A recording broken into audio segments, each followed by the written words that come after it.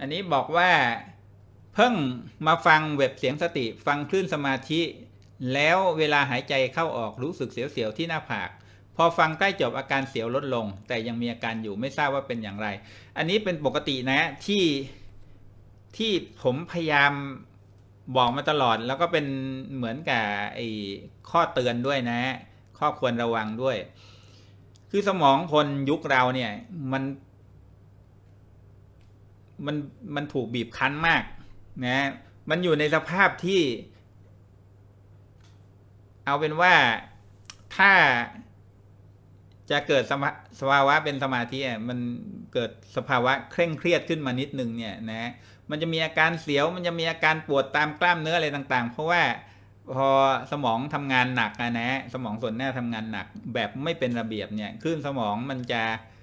ยุ่งมากเลยมันจะ กระชากขึ้นสูงนะแล้วก็ตกลงมาต่ำนะครับ ในเวลาที่ไล่เลี่ยกัน แต่พอฟังเสียงสติแล้วเนี่ยเสียงสติพยายามจูนคลื่นสมองให้ช้าลงนะเอาคลื่นสมองย่านเด่น ย่านช้าเนี่ยมาเป็นตัวเด่นนะครับ ซึ่งมันไปปรับไอกระบวนการทำงานแบบเดิมๆที่สมองมันคุ้นมา เพราะฉะนั้น ถ้าจะเกิดอาการเสียว ถ้าจะเกิดอาการปวดขึ้นมาอ่อนๆนะอันนั้นเป็นเรื่องปกติ แต่ตัวที่ชี้วัดว่าทำแล้วดีขึ้นนะก็คือนะพอเออเวลาผ่านไป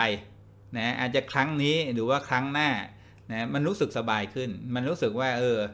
ไอหัวหูมันโล่งขึ้นแล้วแม้แต่เลิกฟังเสียงสติแล้วไปใช้ชีวิตประจำวันอยู่ปกติเนี่ย ก็รู้สึกสบายสบายกว่าเดิม เนี่ยอันเนี้ยแสดงว่าเกิดการปรับ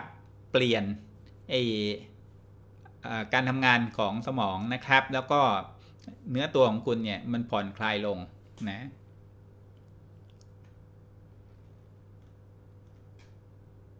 แต่ถ้ายิ่งฟังยิ่งปวดหัวหรืออะไรนี่ไม่แนะนำให้ฟังต่อนะ